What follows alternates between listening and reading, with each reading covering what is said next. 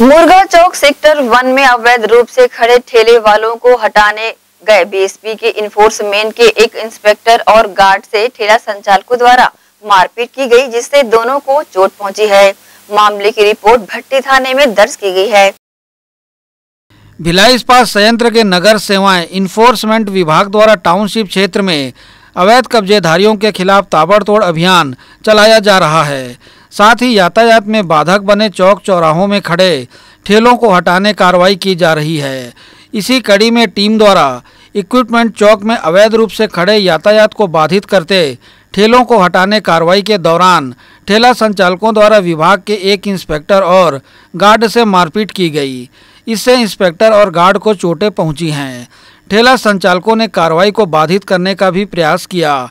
घटना की जानकारी मिलते ही बीएसपी वर्कर्स यूनियन के अध्यक्ष उज्जवल दत्ता, महासचिव राजेश फिरंगी भट्टी थाना पहुँचे और घायलों से मुलाकात कर उनका कुशल क्षेम पूछा।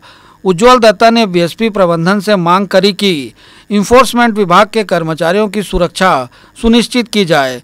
उन्होंने कहा कि संयंत्र कर्मियों से किसी भी प्रकार की मारपीट बर्दाश्त नहीं की जाएगी, जिसका यूनियन विरोध करेगी।